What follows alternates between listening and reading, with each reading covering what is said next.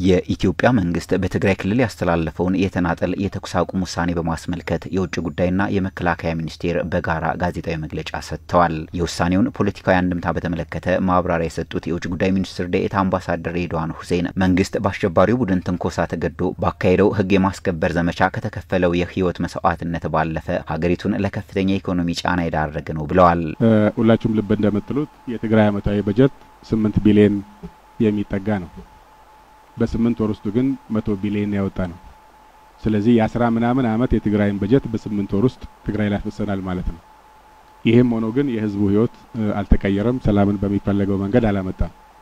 በዚህ መንገድ ኢትዮጵያ ይህን ውጭ እያወጣች የምትቀጥል ከሆነ የበርካታ ሰዎች እድል፣ በርካታ ድልድዮች፣ በርካታ ሆስፒታሎች፣ በርካታ ትምህርት ቤቶችና መንገዶች የሚሰራበት ሀብት እየወደመ ግን ደግሞ በሂደቱም ተጨማሪ ሰውም እያለቀ የሚሄድበት ነገር እየተፈጠረ ነው የመጣው።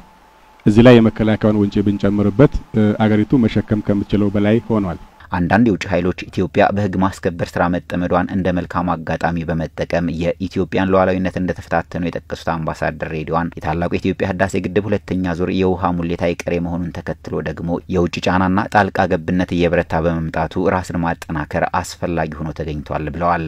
በግጭቱ ሰበብ ሀገሪቱን ለማዳከም የሚፈልጉ አካላት ደግሞ ግጭቱን እንደ ባንዲራ ይዘው ከግጭቱ ጀርባ ግን ቋሚ ፍላጎታቸውን ለማሳካት በኢትዮጵያ ላይ በጣም ተደጋጋሚ የማግለል ጫና የማድረግ ሙከራዎች ሲካሄዱ ቆይተዋል። ግድቡን እንዳንጀምር ከጀመርንም እንዳንቀጥል ከዛም እንዳንሞላ የሚደረገው ጫናም እየጨመረ የመጣበት ሁኔታ ተፈጥሮ በዚህ ምክንያት ድንበራችን ተወሮ ነበር ብቻ ሳይሆን አሁን ሁለተኛው ሙሊት አይቀሬ መሆኑ ሲረጋገጥ ሁላችሁም የምታውቁት የጋራ ልምምድ የጦርነት ድግስ እየተደገሰልን ያለበት ሁኔታም በጣም ግልጽ ነው የሚሆነው።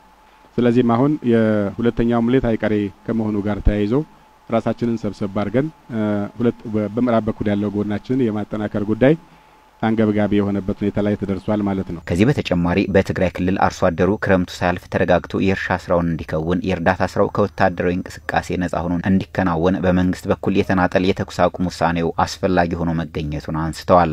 የሀገር መከላከያ ሚኒስቴር የሰራዊት ግንባታ ስራዎች ዋና አስተባባሪ ሌትናል ጄኔራል ባጫ ደበሌ በበኩላቸው በህግ ማስከበር ዘመቻው ጁንታው ከመከላከያ ሰራዊት ጋር ያደረገው መደበኛ ጦርነት ለሶስት ሳምንታት ብቻ የዘለቀ እንደነበረ አስታውሰዋል። በመደበኛው ጦርነት የተሸነፈው ቡድኑ በሽምቅ ውጊያ ተመሳሳይ ሽንፈት ሲገጥመው ህዝቡን ከፊት አድርጎ ከመከላከያ ሰራዊት ጋር ማጋጨትን እንደ አንድ ስልት መጠቀሙንም ጄኔራል ባጫ ገልጸዋል። እነሱ እኛን ከመውጋት ይልቅ ህዝቡ ተሰልፎ ከፊት መጥቶ ንብረትህ ሊወሰድ ነው፣ ተወስዶ እየተጫነ እየተሄደ ነው እና ወረውኋል፣ እንዲህ አድርገዋል የሚለው ነገር ህዝቡን በማነሳሳት በፈቃድ የመጣው በፈቃድ በፍላጎት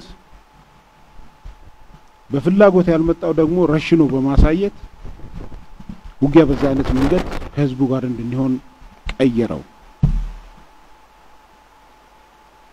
የውጊያ መቀየር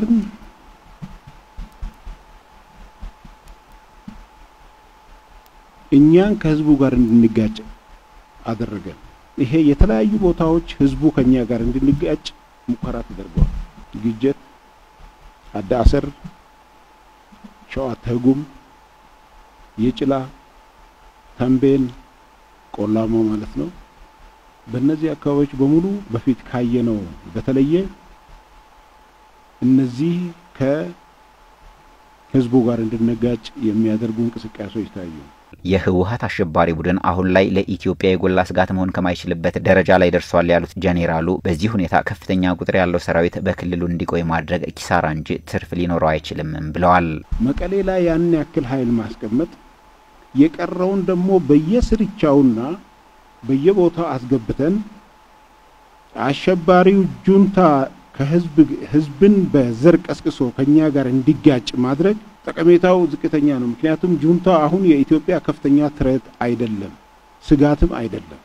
ይሄን ኃይል ባለበት ቦታ እንዲቆይ ለማድረግና የትግራይ ህዝብም እፎይታን አግኝቶ ቶክስ ድምፅ የማይሰማበት እነሱ ጋርም ሊነጋገር ከዚህ ከዘረኝነት አስተሳሰብም ከሚቀሰቅሱት ሰዎችም ሀይባይ እንድላቸው መፍትሄ ለመስጠትም የእፎይታ ጊዜ እንዲኖረው ለማድረግ የኛ ከዛ መውጣት አስፈላጊ ነው። ሰራዊቱን በትግራይ ከማቆየት ይልቅ ቅድሚያ ሊሰጣቸው የሚገባቸውን ስጋቶች ለመመከት መዘጋጀት አስፈላጊ ሆኖ መገኘቱንም ጄኔራል መኮንኑ አስረድተዋል። እኛ ከትግራይ የወጣ ነው ሌላ ትሬት አለን፣ ሌላ ስጋት አለን፣ ሌላ የኢትዮጵያ ስጋት አለ።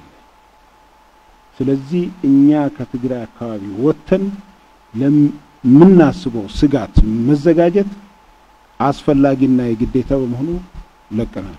አሸባሪ ቡድኑ ትንኮሳ ማድረግ ከጀመረና የፖለቲካ ውሳኔው ተቀይሮ መቀሌ መግባት አስፈላጊ ከሆነ መንግስት አሁንም አካባቢውን መልሶ ለመቆጣጠር ሙሉ አቅም እንዳለውም በመግለጫው ተመላክቷል።